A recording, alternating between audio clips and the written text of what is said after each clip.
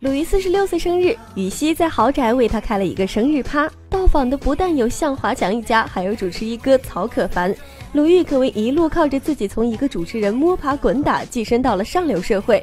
其实娱乐圈也有不少女主持，靠着人脉和机遇，改变了自己的人生轨迹。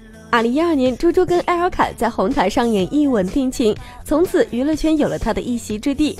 而在这之前，他的身份是 MTV 当家主播。不仅如此，他还是国际名媛希尔顿的闺蜜侯佩岑。由于外形甜美、气质温婉，获得主持招牌节目《娱乐亚洲》的机会，从此成名。他不但开始主持大型晚会，还逐渐结识明星、富商，好朋友也尽是名媛。二十年前，杨澜凭借正大综艺在国内家喻户晓。后来到美国留学时，她不但取得学位，还结婚生子。两千年，杨澜和吴峥以夫妻档创办了阳光文化，同时她还跟席琳迪翁共同创办的品牌蓝走进高端珠宝定制领域。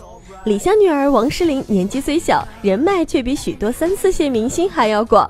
男神发哥、影帝张家辉纷纷跟她合照送礼物，钢琴王子李云迪是她的老师。何炅与汪涵则分别为他的干爹和舅舅。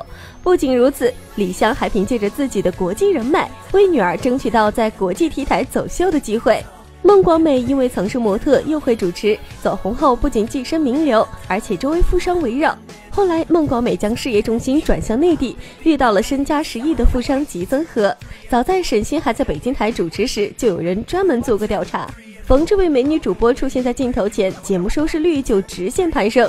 跳到凤凰卫视以后的短短几年间，沈星便从主播跻身富商云集的上流社会。可是，富商翻墙进沈星家，与家中另一位富商大打出手的事件，却划破了他平静的生活。虽然事件后沈星复工继续主持工作，却再不及从前的人气了。